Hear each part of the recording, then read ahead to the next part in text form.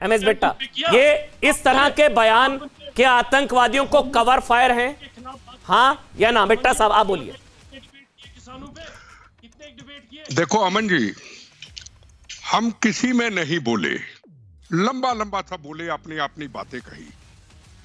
अब हमारे बीच में कोई ना बोले। फिर अगर बोला फिर शुरुआत हो जाएगी।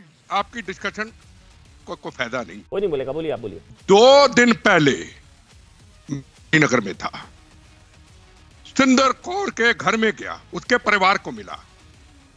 वो डॉक्टर साहब जो शहीद हुए, उसकी बेटी मिली, उसका परिवार मिला। क्या कसूर था जी उनका? आतंकवादियों के लिए तो सारे खड़े हो जाते, उनका क्या कसूर था? वो डॉक्टर साहब लाल किला लाल किला के अंदर। क्या था वहाँ पे? हिंदू हो, मुसलमान हो, सिख हो, ईसाई हो, हर व्यक्ति का इलाज करते थे। जो दवाई कहीं नहीं मिलती थी। रातों रात प्लेन से आती थी। हिंदू, मुसलमान, सिख, ईसाई को दवाई देते थे। क्या उन्होंने को गलत काम किया? क्या सुखिंदर कौर का कसूर था? मुस्लिम बच्चे, हमारे बच्चे, पंद्रह हज़ार रुपया फ़ीस अपनी पॉकेट से जो बच्चे फ़ीस नहीं दे सकते थे, वो बढ़ती थी? वो बढ़ती थी?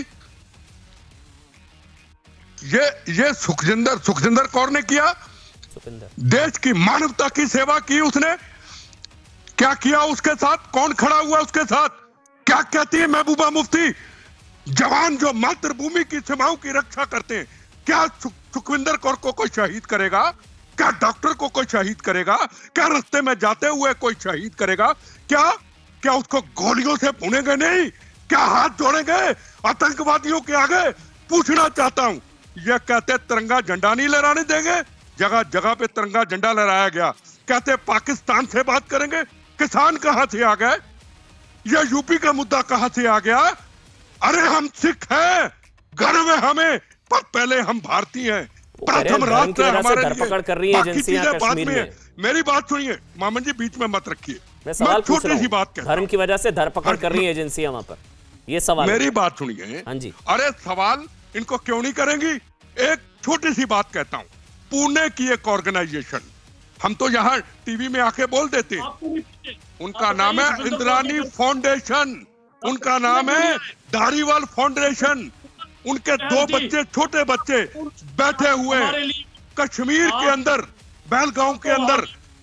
कश्मीरी बच्चे मुसलमान बच्चे हमारे उनको शिक्षा देते हैं। पंद्रह करोड़ रुपया लगा चुके हैं बच्चों के लिए विकास के लिए बच्चे आगे बढ़े। और ये लोग ये लोग वहाँ बैठ करके आतंकवादियों की मदद करते हैं आतंकवादियों के लिए खड़े होते हैं। कहे कहे ये हम पाकिस्तान के खिलाफ हैं। कहे ये आतंकवाद के खिलाफ हैं। अरे बोलना बड़ा आसान होता सरदार था सरदार साहब हम सरदार ही नहीं हम सरदार ही नहीं रहे। अगर सुखिंदर कौर को उनको मारा गया शहीद हुआ अब भी अब भी हम उनकी मदद करते हैं। हम कौम के गदार हैं। हम देश के गदार हैं। हम देश के दुश्मन हैं। अरे सुखिंदर कौर को इनोसेंट को शहीद कर दिया गया।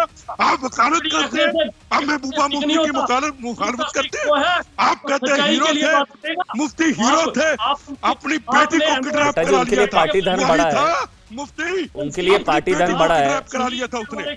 वो वो आतंकियों के खिलाफ नहीं बोल सकते उनको बचाना ज़रूरी है। बल्कि मैंने तो उनको बताया।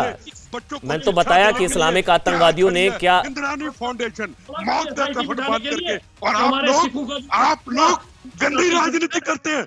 मैं हमेशा आपकी इज़्ज़त की हमेशा चैनल पे इज़्ज़त की।